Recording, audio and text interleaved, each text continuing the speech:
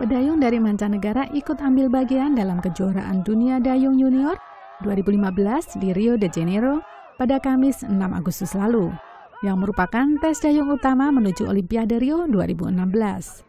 Pengujian ini tetap diadakan meski sempat ada kekhawatiran akan kontaminasi air di Danau Rodrigo de Freitas, tempat yang sama diadakannya Olimpiade Cabang Dayung 2016. Perairan lepas pantai Atlantik menjadi kotor selama puluhan tahun, dan Rio berjanji mengurangi polusi hingga 80% persen di sekitar teluk, di mana cabang olahraga air berlangsung. Namun riset independen yang dirilis minggu lalu menunjukkan kadar bahaya yang tinggi dari virus dan bakteri. Federasi Dayung Dunia atau FISA melalui situs webnya menunjukkan kesadaran akan riset itu, tetapi menyimpulkan tidak ada resiko tambahan yang signifikan akan kesehatan atlet.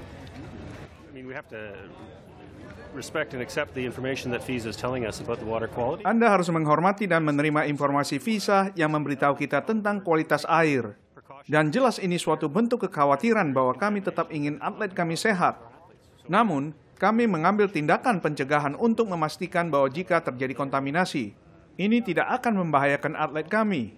Kami akan memastikan bahwa mereka akan mencuci tangan dan memakai lapisan antara air dan botol, sehingga kami bisa menaruh mereka di dalam tas. Sejauh ini lancar bagi kami.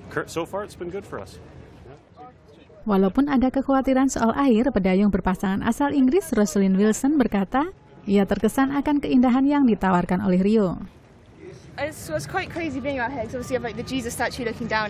Cukup menyenangkan berada di luar sini. Dengan patung Yesus yang melihat ke bawah, ke arah Anda, dan lingkungan cantik seperti ini, membuat Anda sulit untuk berfokus pada perlombaan. Tapi sekali Anda masuk ke dalamnya, akan seperti lingkungan lain. Tapi masih sangat kompetitif, hanya sedikit lebih panas dari biasanya. Tapi ini tetap hebat. Olimpiade yang berlangsung akan menjadi meriah di sini. Kejuaraan Dunia Dayung Junior 2015 akan berlangsung hingga 9 Agustus, sedangkan Olimpiade 2016 akan dimulai pada Agustus tahun depan.